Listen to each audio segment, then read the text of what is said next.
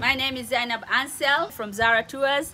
Happy Women's Day. This is 2021. We can do it, we can make it, we are here.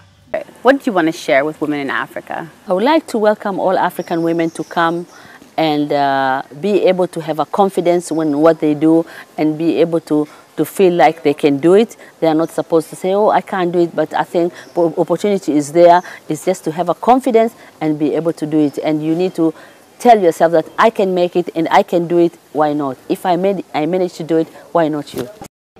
Happy Women's Day! We choose to accept the challenge.